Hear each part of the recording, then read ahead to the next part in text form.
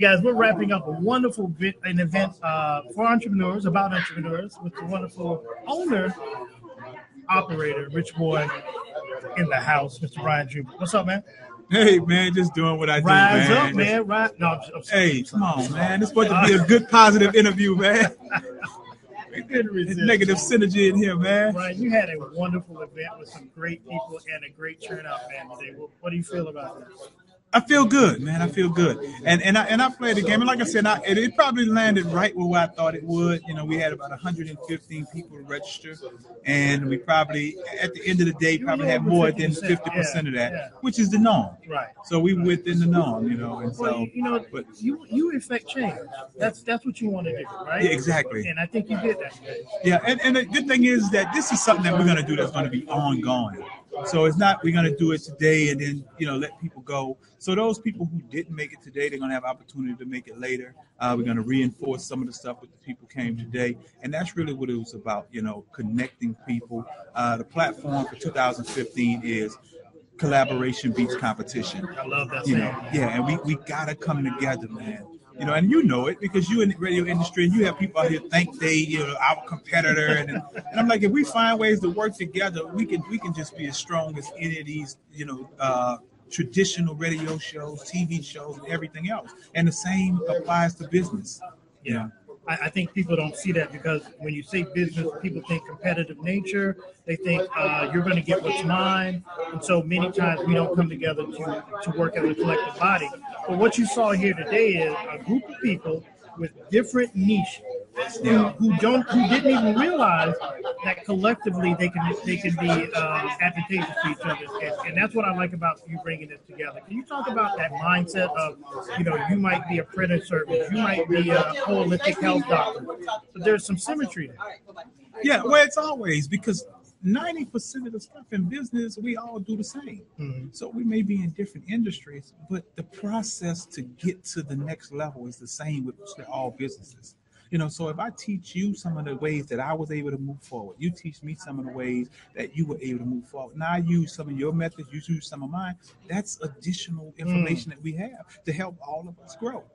You know, Wow. but then the thing is, is that you never know at what point that we need to do business with each other.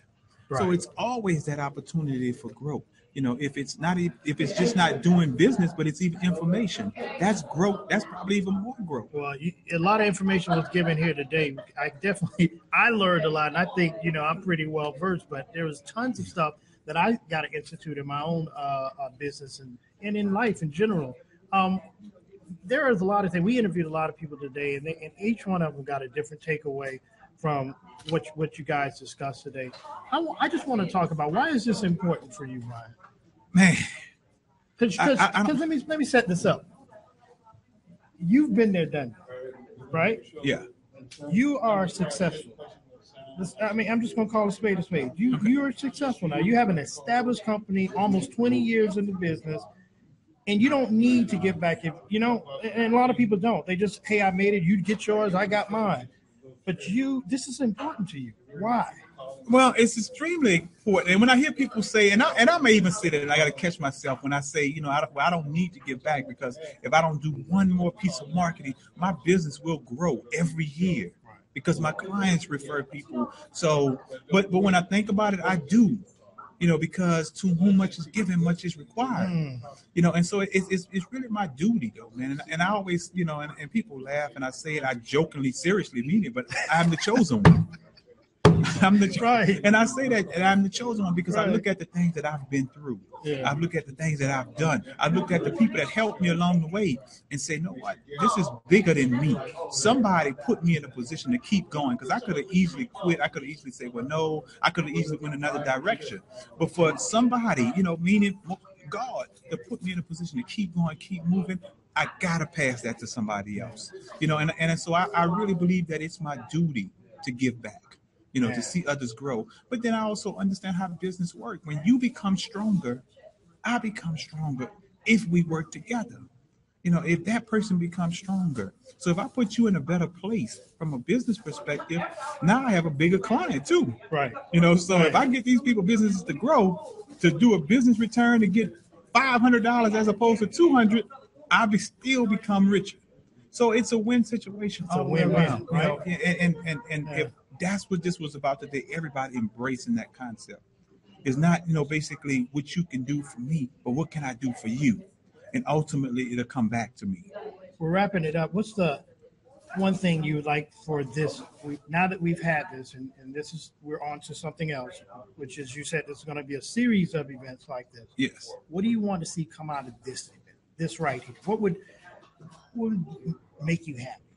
what would make me happy, like I stated before, is if people utilize these services that were in the room today, you know, and connecting with the people that had businesses, not only just the speaker, but even the people that came here and, and, and trying to get their business off the ground, the ones who be started from the beginning. It would be a beautiful thing to some, you know, a group of people to support them to help their business move along, the people who are existing to help them get to the next level, you know, the speakers who are experts in what they're doing, they all have businesses to support them. That's what would make me happy to see people connected. Not just passing business cards out. No, just because we see that all day. You know, that's that's that's the new. You know, we we on a whole new thing. That's what I talked about today. That's why I talked a lot about that. yeah. You know, that's why I talked about investing into your business. Yeah. You know, put money. You know, that's how you show me you serious. You know, Right. yeah, you can pass a card and talk to me all day, but when you make a commitment, a financial commitment, then I know you're serious. Hey, you got the last word. Mm. Anything you want to tell our audience? There's the camera. Hey, let me let y'all know it's never, never too late to get in the game. And you can't win. You know, we I see it all on social media every day, all day. Uh, let's keep winning, winning.